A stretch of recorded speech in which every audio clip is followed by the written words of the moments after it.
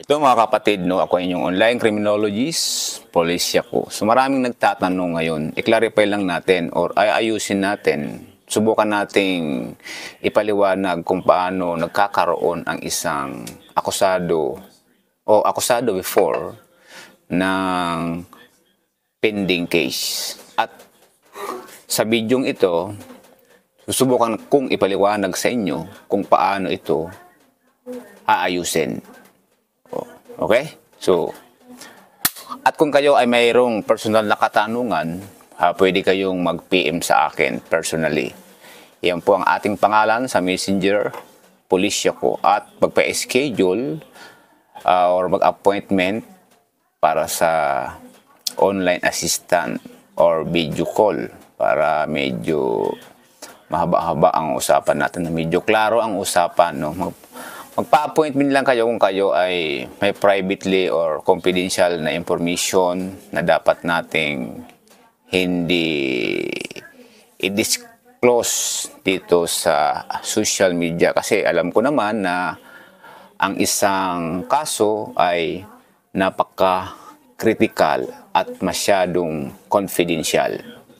Kaya ayon ang paraan para magpa-appointment kayo Commonly, ang open ko ay open time tayo from 9 a.m. ng umaga hanggang ano ba, alas 11 or alas 12. Pwede pang humabol.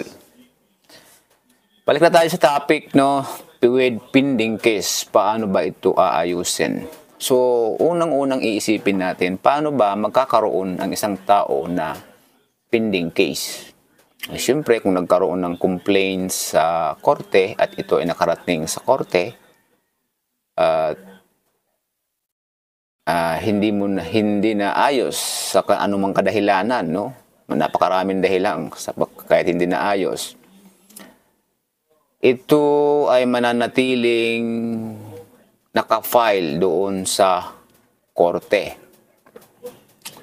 At kung ito man ay sabihin natin yung respondent or yung akusado at yung complainant ay nag-usap lamang personally at nagkaayos na. Sila-sila lang, hindi kasama yung korte. So, ang record ay mananatili sa korteng kaso. So, hanggang sa paglipas ng panahon, ito ay mga archive na lang at still may record pa rin yung kaso.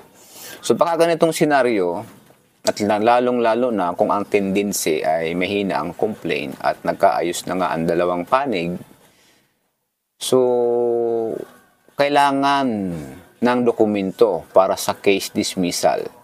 At involved dito ay ang, ang magbibigay dito ay ang korte kung saan nakafile yung kaso. So, magkipag-ayos doon sa korte ay kausapin kung ano ang i-required na dokumento para ma-dismiss nila ang kaso. Ganun lang. So usually ang dokumento niyan, eh, ano eh, ay withdrawal of the case o affidavit of desistance na galing doon sa complainant. Yun lang. After nun, uh, kung wala na silang masyadong katanungan o kailangan dokumento, yan na nila. mag evaluate na sila kung kailangan ba talaga nilang i-dismiss yung kaso o kailangan nilang ipagpatuloy yung kaso. So, eh, yung kaso po kasi ay depende yan. May mga kaso tayo, may mga kaso diyan na kahit wala nang complainant, ay may pribilehiyo pa rin or may rights pa rin ang state or ang mga abogado natin na ituloy. So yan lang po ang papyaw nating discussion sa with pending case kung paano ito maaayos. So para sa ibang katanungan, huwag po kayong dalawang isip na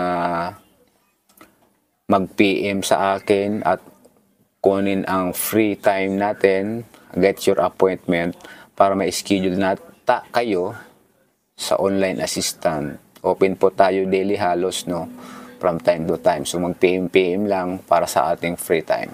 Thank you for watching at maraming salamat pala sa inyong pag-subscribe. I-click nyo lang ang subscribe button and kung gusto mo lagi akong ma-update o lagi kang ma-update sa mga latest nating video, i-click mo yung subscribe and notification bell yung bell, all para every time na may bago tayong video na mahalagang impormasyon ay makaabot sa inyo. Maraming salamat. Thank you for watching. See you again in my next video.